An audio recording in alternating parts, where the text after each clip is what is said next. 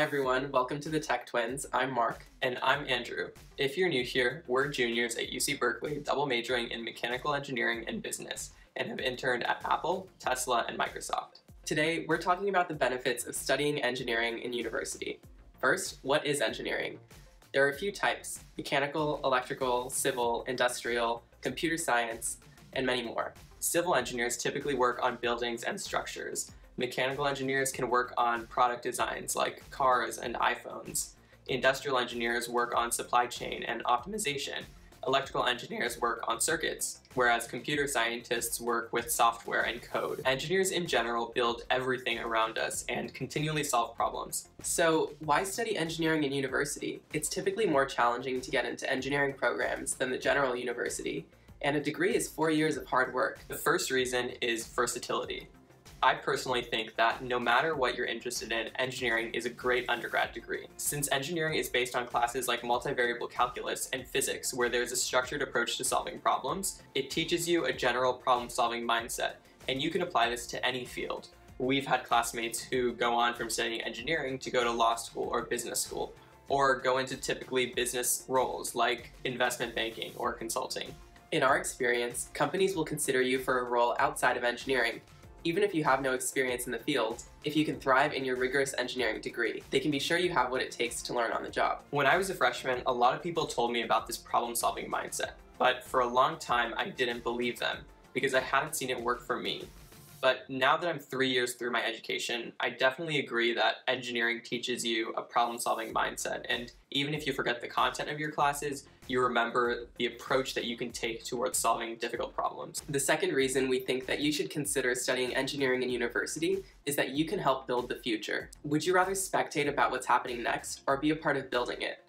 Engineers build things that push society forward, and that makes work really fun. Tech companies are often mission focused too, so the work culture is really welcoming. Often the only way to get a job at these companies, however, is by studying engineering in college. For example, for our roles at Apple, Tesla, and Microsoft last summer and this summer, we wouldn't have been considered had we not been studying engineering. There's a Steve Jobs quote I really like that's related to this topic. It goes, Life can be much broader once you discover one simple fact.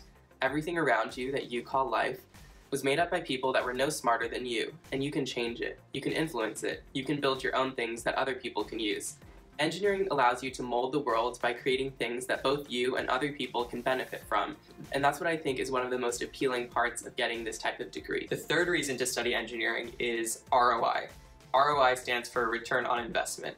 If you've seen the TV show Silicon Valley, you're probably aware that tech jobs in Silicon Valley have some of the best perks and pay of all jobs out there.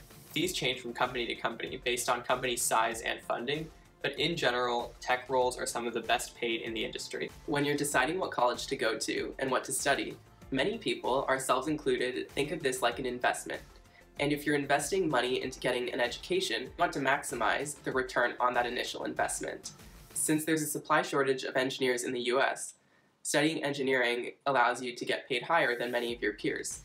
So this will vary from company to company, of course, but the general rule of thumb is engineers get paid well. For example, if you graduate from the College of Engineering at Berkeley, the average starting salary is around $90,000, whereas the average starting salary for a general United States graduate is around $50,000. The Daily Cal is the student newspaper at UC Berkeley, and they stated that an engineering graduate from UC Berkeley is nearly guaranteed to be $1.1 million better off than a peer who never even graduated university in 20 years. Additionally, because of this push from companies to get more students to study engineering, there are a lot more scholarships for STEM students, and so this gives you a greater opportunity to reduce your college loans before you graduate. Before we end this video, we want to address two stereotypes that might prevent you from considering engineering. The first is that engineers are just nerds, and the second is that women don't study engineering. To address the first one, all the engineers at Berkeley are very nice people and really like solving large problems. I wouldn't call these people nerds and would be happy to work with them on any group project.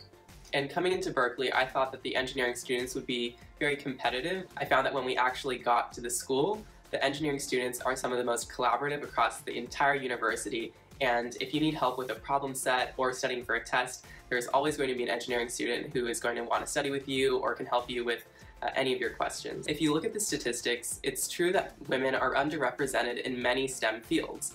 However, that doesn't mean that this should be the norm. I personally know that it's extremely valuable to have a variety of different perspectives in the classroom.